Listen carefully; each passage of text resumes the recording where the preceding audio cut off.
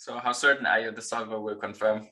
I would bet ten dollars on it that I do lead King Deuce with the King in Hearts for a third. Okay, taken. Okay, let's get into this.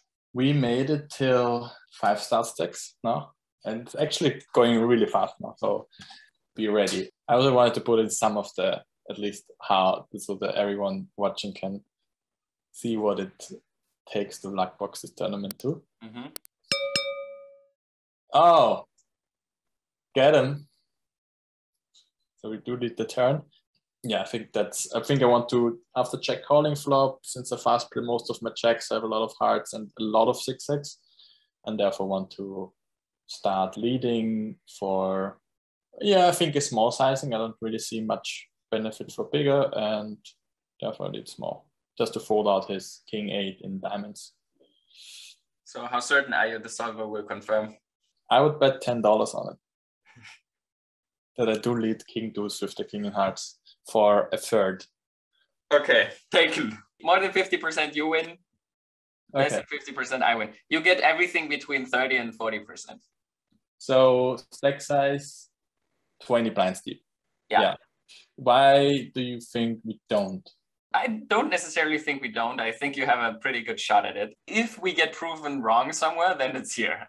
I would also donk it intuitively, but I've seen too many weird things on these type of boards that I kind of just want to see it. Okay, that's fair.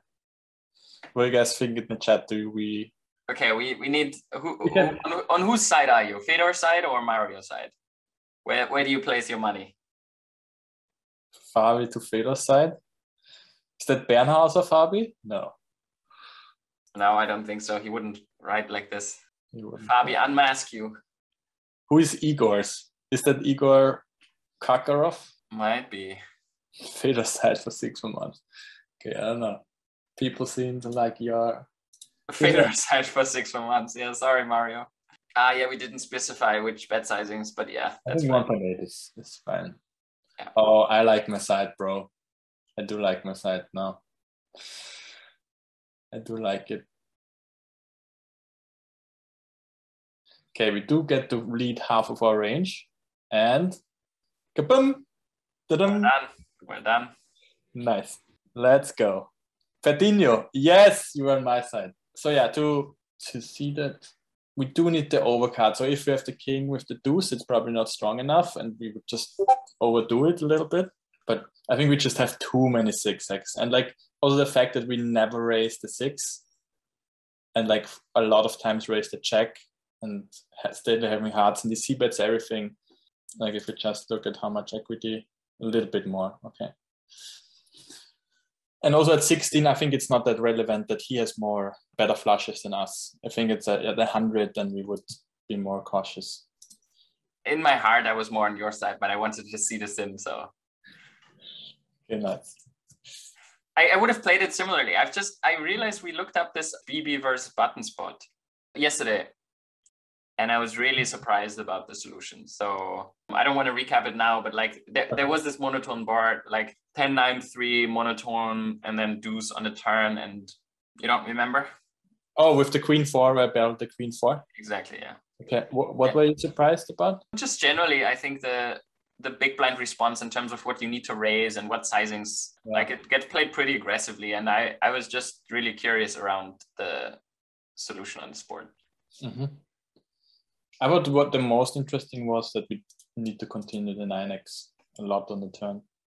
yeah yeah for me uh, this one here i think is is just interesting sometimes it's just good to confirm you know when you have a pretty because for me it would be super intuitive to call flop and then donk turn and, and sometimes i just want to like is this the you know does this make sense like is there maybe a different way to to look at it and i don't know i feel that's it's important as important to question the ones where you feel confident rather than just the ones where you feel uncertain True. I, I now I think I would rather see bet the ace three bet the ace seven pre. I'm actually not sure if it's a call or not. Let's see. I think you want to be flatting the lower ones and three bet the higher ones here. I think you want to be flatting like the the ace five and ace four here and three bet the ace seven, ace eight, ace nine. And I also think these are the ones that I've been missing quite a bit for having a higher three bet stat because I don't think I get to 50% 50% frequency with those, but I think it's important, most important to whip it. If the hand goes like this, then flatting is fine uh, too. I really don't mind flatting these suited aces a bit more because people, the, if the big blind calls so much, like overcalls too much, it's it's yeah. like so much better to flat them there, and mm-hmm. much better to three bet your like king jack off and ace jack off to the max. Like yeah, if they continue calling everything from the big blind, like let let them just do dumb shit. also, people play so terrible in multi-way pots. Can I see the turn action again? Yes. Interesting, because I, I would not have even thought about choosing a different action than. I mean, he. I I would just shove it. Yeah, I mean, maybe not in the eight of spades on turn, but like I feel when he goes for half pot flop, two thirds turn, I mean, he just has it. Mm. Like you have the ace of hearts. What is he supposed to bluff? Like king queen, queen of hearts, king queen, king of hearts. Yeah, okay, but it just feels like most people don't start half potting with that hand on the flop. So I discount like almost all of them already. And then you know, I, I just feel like he has like pocket nines and just wanna just wanna get it in. Yeah, true. I thought I would rather shove the queen ten or the king queen. Oh, it's not a theoretical. Like I, I also wouldn't even consider necessarily like you don't need to shove, right? Like it's you you can also yeah. raise. Yeah. because look at this on the turn, right? Like mm. every 10, like every queen, like a lot of the hands that I believe are in this value range right now, where I believe he doesn't have enough bluffs, he will slow down on a river, and I just want to get him the chips. Against the setups. Because flushes he has like almost none left, right? Like yeah. Flushes he might not start betting half pot on the flop. So it's like there's a lot of hands where it's literally just him overplaying like a strong hand, but not top hand. Mm-hmm.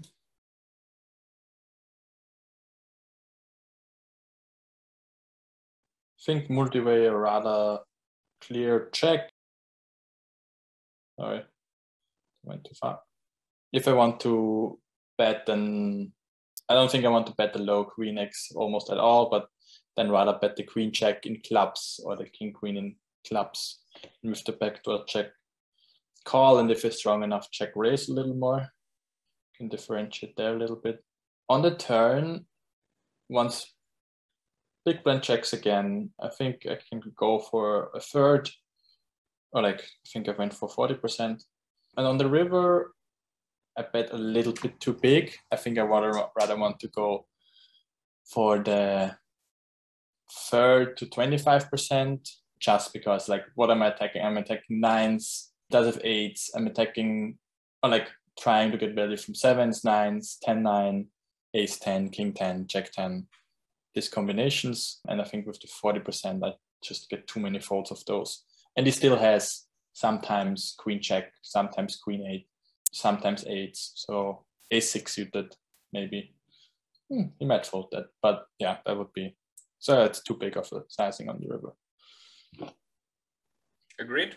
Good analysis, I think. Mm-hmm. And he folds. With the queen eight, I'm actually curious what our 15 blinds strategy is here. We do get to shove the king x and the ace x and the suited middle cards and a lot of limps and sometimes raises. But yeah, I think that's either way, it's fine. I think you will see the more I think we will have different uh, solves for different raise sizes. I, I feel we could see a bit more of the smaller raises with this type of hand. Mm-hmm. I think like the you know I, I don't know what raise size it has for 15 BB here. Uh, probably three three. Yeah, that, that's why because I think for the the 2.5x solution, I think you see a bit more of mm-hmm. raises there. So so that's I think actually also a nice uh, strat against some people. Yeah, just this 2.5 in the small stacks. But yeah, I think limp is the main option here. Once I check, I, I can bet I would expect him to like fast play most aces in position, doesn't have many bets most of the tens. So I do have the best hand most of the time. So I probably should bet just to not give a, a harder free river. But once I check, uh, it's a pretty clear call. And then the river is a complete brick. And then it's interesting because he bets two third. And I would almost discount 10x at this point and almost discount ace x as well, just because of the preflop action. He should isolate or for sure the offsuit ones. Maybe, let's see, if he 15 blinds, has some of the ace6 to ace2 suited, which make the least sense to isolate. So at this point, he's betting into a range that has clear showdown value, which means an eight, king, queen, king, jack, king or queen, high flush draws that didn't raise free, and then a6 that tried to, to trap. And against that range, him having all the flushes though, so he has a lot of them. I just think I can make an adjustment and fold the 8x, which I probably shouldn't.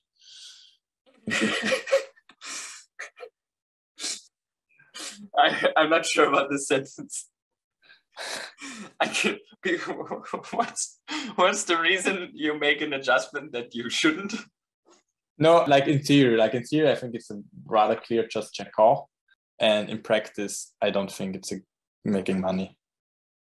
Just because I have too strong of a range, and he has too clearly weak of a range, and he's just wrapping flushes. But um, do you have too strong of a range? I mean, I have Ace X. I have. How often do you play Ace X this way? Like Ace X like almost all the time on the turn. Yes. Jam Ace X a lot pre. You like.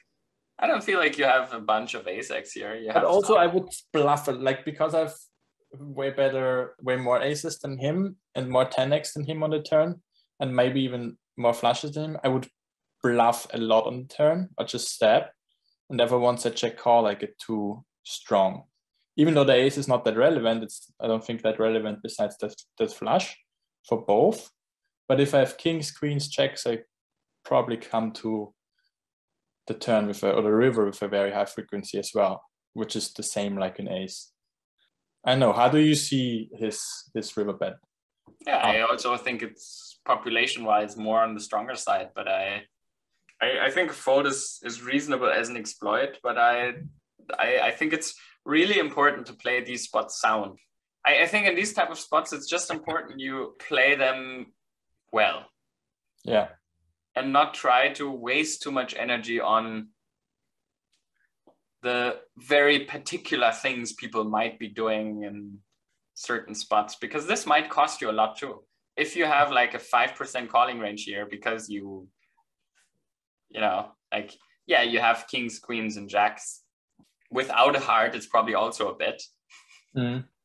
So I, I'm not sure. Yeah, it's hard to come to a clear conclusion. Like I know it's a call if I look it up. the then... question is what he's bluffing and also what we are calling with and how wide we're calling with. And then I, you know you can still I think he's bluffing the six seven, nine seven, nine six complete air as well. I don't think he wants to bluff a heart on the river because then he blocks the check call turn check fold river like the king six in hearts. Doesn't want to have like a king or queen hearts. I think in practice he probably does that way more. So he probably bets queen for a queen deuce with a queen in hearts on the on the turn and then like that's just if he's not professional then I think that would be a mistake that he make. He just had ace four and Probably had ace four. Probably.